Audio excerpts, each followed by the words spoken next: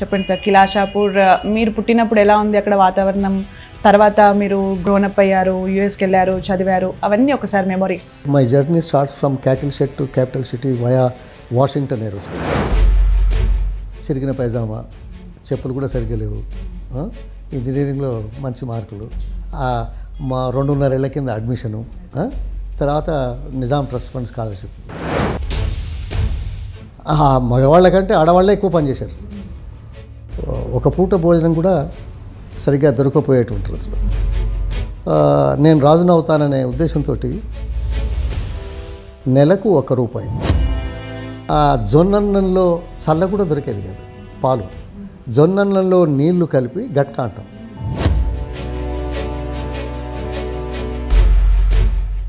కొడుకు తండ్రికి అగెయిన్స్ట్గా న్యాయస్థానానికి వెళ్ళి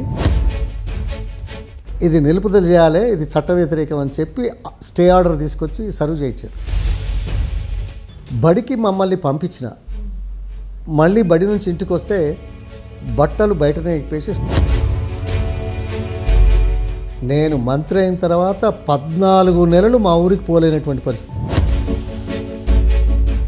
ప్రతి పది అడుగులకు ఒక బిఎస్ఎఫ్ జవాన్ను పెట్టేయాల్సిన అవసరం ఏర్పడేది ప్రభుత్వానికి. ఈ వివక్ష దేనికి? చూడ్డానికి కూడా అరుళం కదా? వినడానికి కూడా అరుళం కదా? కలవడానికి కూడా అరుళం కదా? ఈ సమాజం ఏంది? ఆ రోజుల్లో స్కూళ్ళల్లో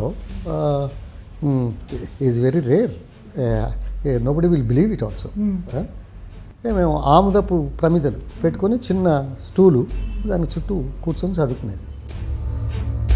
నాలుగు మతాల ప్రార్థన చదివేవాళ్ళం. హౌస్ బిల్లాహి మినేషతాను ముందు ఉండే మా తండ్రి అని. మనసులో మనమంతా ఒకటి భారతీయులం అనే ఫీలింగ్ ఫీలింగ్లో నేను మంత్రిగా మొదటి చర్య ఏంటంటే మీరు రెండు రూపాయలు ఇవ్వద్దు. మా కార్పొరేషన్ తీసుకుంటున్నది.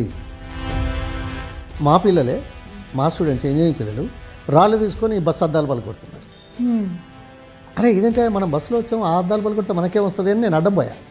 పోతే నాకు ఇక్కడ దెబ్బ దాకి ఓకే. ఆ రోజుల్లో పోలీసులు అంటే అసలు ఎంత భయం? పోలీసుని చూస్తేనే పారిపోయేవాళ్ళం కదా. సర్కిల్ ఇన్స్పెక్టర్ మా ఊరికి వచ్చి నన్ను చూస్తానంటే కాదంటావా అరవై ఏళ్ళలో మా పెళ్ళి ఫోటోలు లేవండి. ఆయన పోలీస్ ఆఫీసర్ అయినా ఫోటో కెమెరా లేదు ఫోటో తీయలేదు.